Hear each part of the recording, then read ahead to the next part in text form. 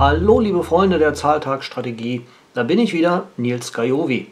Ja, äh, ich habe viele, viele Glückwünsche erhalten äh, zu der Performance meines vergangenen Jahres. Ich hatte auf meiner Webseite geschrieben, dass mein Portfolio 60% zugelegt hat im vergangenen Jahr und daraufhin gab es dann die eine oder andere Mail, wo man mir gratuliert hat. Nun, äh, ich bedanke mich natürlich dafür, aber ich möchte trotzdem eines klarstellen.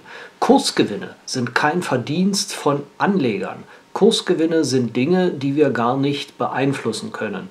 Es gibt ja das schöne Sprichwort äh, von dem amerikanischen äh, Philosophen und Theologen Reinhold Niebuhr, der einmal gesagt hat, Gott gib mir die Gelassenheit, Dinge hinzunehmen, die ich nicht ändern kann, den Mut, Dinge zu ändern, die ich ändern kann und die Weisheit, das eine vom anderen zu unterscheiden. Ich glaube, die meisten Börsianer machen den Fehler, sie äh, konzentrieren sich auf Dinge, die sie gar nicht beeinflussen können, nämlich die Kurse. Wenn sie einmal eine Aktie gekauft haben, dann ist natürlich klar, dass die Kursbewegungen jetzt nicht mehr in ihrer Macht liegen, denn sie hängen jetzt sozusagen äh, am Tropf der anderen Marktteilnehmer. Wer kauft nach mir? Die berühmte Frage der Markttechniker. Börsenkurse sind nicht kontrollierbar, sagen wir es mal ganz klar. Kontrollieren können wir nur die Fundamentaldaten. Als Investor kann ich nur schauen, welche Aktie ist fundamental billig. Das bedeutet aber nicht, dass ich ein Unternehmen kaufe und danach geht der Kurs durch die Decke. In meinem Depot gibt es äh, etliche Beispiele, wo genau das Gegenteil passiert ist.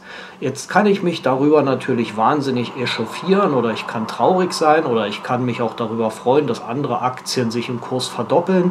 Das liegt aber alles nicht in meiner Macht, das ist alles nicht mein Verdienst. Börsenkurse bewegen sich zwar in Trends, aber nicht an jedem einzelnen Tag. Man nennt das Stochastik.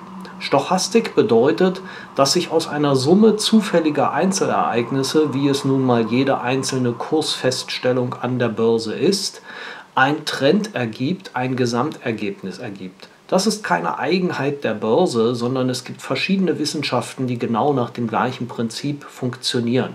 Demoskopen sagen voraus, wie viel Prozent einer bestimmten Bevölkerungsgruppe für eine bestimmte Partei stimmen aber sie können nie sagen, wie Herr Mayer oder Frau Schulze abstimmen werden.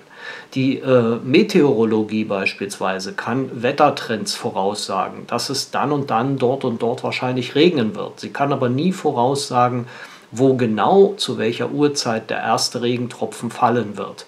Oder nehmen wir die Spieltheorie. Man weiß genau, dass man beim Roulette, beim 17 und 4 oder bei anderen Glücksspielen statistisch gesehen einen bestimmten Nachteil hat oder einen Vorteil, wenn man die Bank ist.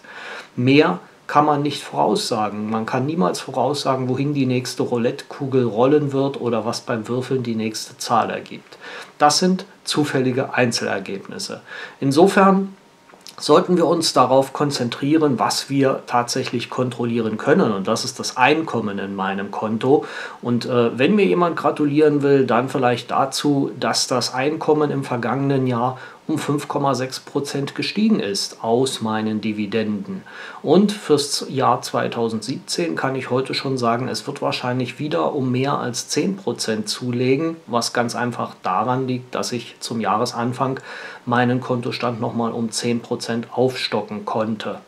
Halten wir es also mit Isaac Newton, der seinerzeit gesagt hat, ich kann zwar die Bahn der Gestirne auf Zentimeter und Sekunde berechnen, aber nicht, wohin eine verrückte Menge einen Börsenkurs treiben kann. Der Mann muss es wissen, der war zweimal pleite an der Börse. Ich hoffe, dass uns das nicht passiert. In diesem Sinne, alles Gute, ihr Nils Gajovi.